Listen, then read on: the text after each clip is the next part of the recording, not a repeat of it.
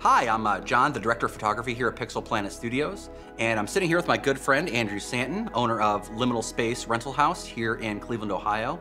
And today we're going to go over some of the differences between the brand new Alexa 35 and the Alexa Mini LF. So let's take a look.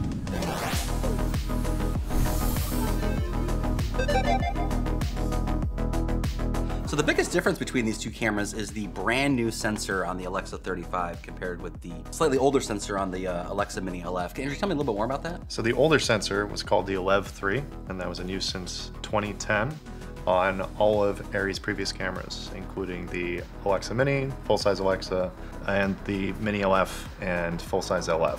Uh, the LF was just a slightly larger version of the same sensor. So we now have the Alev 4 sensor in the Alexa 35, which has raised a critical standard of having a Super 35 sized sensor with native 4K. Yeah, I see a lot of the publishing of ARRI literature and some of their videos is this seems very specifically built to hit the target of Netflix resolutions and their requirements, whereas uh, this being uh, hitting those similar requirements, but it being full frame, this is kind of the same requirements hitting the Super 35 mark of sensor size. So both of these guys are a 4x3 sensor, uh, which allows full 2x anamorphic lenses to fit on that sensor, as opposed to the other camera in ARRI's current product lineup, the ARRI Amira, which is a 16 by 9 sensor. No anamorphics, except for 1.3. 1.3, yeah, it's really been more for broadcast, so. The new 35 is, is really a generational leap uh, above their older cameras, which if you've used their older cameras are some of the best in the industry as far as dynamic range goes.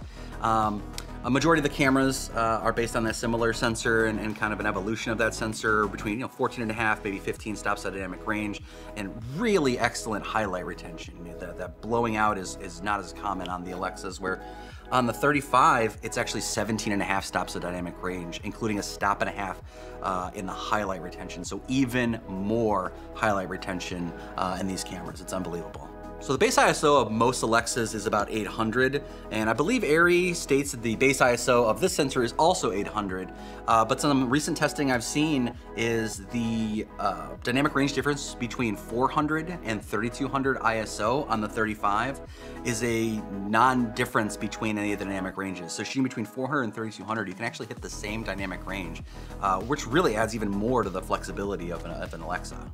We're looking at a brand new color science that ARRI calls Reveal Color Science. Um, it's a new image processor, uh, new sensor, new LUT, uh, new looks, as well as the creative looks that are inside of the camera, kind of built-in ARRI uh, filters. Uh, I believe some of them are for beauty and other things like that, where you can do a, a- a pre-processing of grain and other types of uh, film stock style looks within the camera. Uh, also, instead of a 10 or 12-bit workflow, uh, ARRI decided to do a 13-bit workflow, which is a very ARRI thing to do. High sensitivity mode is ARRI's new kind of, uh, a lot of cameras call them dual base ISOs where they can kind of go to an extended range um, for low light shooting. Of course, it's ARRI. They don't call it uh, dual ISO mode. They have to call it, I think it's extended sensitivity mode. Um, and it allows you to shoot up to 6400 ISO. Uh, and then based on using that settings, it actually pulls down some of the grain uh, and get some really usable footage in some very dark situations. I just read about a DP uh, that was shooting on the 35 for his first project and was actually able to shoot with just moonlight. Uh, with the high sensitivity mode, which is unbelievable, especially in Alexa, which isn't a, a non-light sensitive camera, but to shoot in moonlight is unbelievable. Yeah. The Alexa 35 just covering even more bases than ARRI was covering before. We're talking about similarities. We got to mention the biggest difference, which is new battery standards. This guy is ARRI's new battery standard B mount batteries.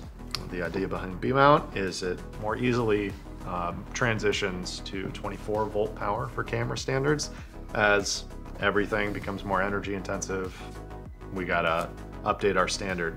The problem with 12 volts, as it was, is if you are patching through and using Power Distro through the camera, you might not be able to power all the accessories that you're gonna have on the camera. So this permanently fixes that. We also have, with this new B mount, uh, the mount itself being recessed into the camera very nicely. So on here, we have a power distribution plate, which is, comes as an optional accessory. The mount can be mounted directly on the camera, and then there's no release on the mount itself that's on the battery. So that allows it to be even smaller. So helps the form factor really stay down. And as you can see with the Mini LF, is you need the cage to build off the battery plate with the power distro. There's more power distro built into the camera to begin with, and then adding a power distro block is an inch instead of two inches plus however much the cage is bringing it out. So the build quality on this new guy is really kind of a whole nother level for Arri. They've started with a whole new design aesthetic as opposed to the carbon fiber body of the older cameras. Now, the Alexa 35 is a little bit heavier. It's about 0.7 pounds heavier, I believe. But the accessories themselves are all much lighter weight with like a lattice structure, as you can see here. And it's got this almost, you know, like industrial, you know, design to it. Uh, which you know it's pretty uh, pretty appealing. It's like an artistic statement. We also have some pretty rad accessories from articulating cheese plates to two-stage cheese plates to keep the same form factor but allow even more mounting points. We have a two-stage viewfinder adjustment so that this can articulate even more, Yeah, more flexibility. I noticed And- the viewfinder is much better improved as far as the mechanism goes. There's also a lightweight accessory kit, which may come standard with a lot of these packages, where all of the studio cage disappears, and you can have the most minimal mounting points with carbon fiber handle that, like, you know, weighs like a couple grams.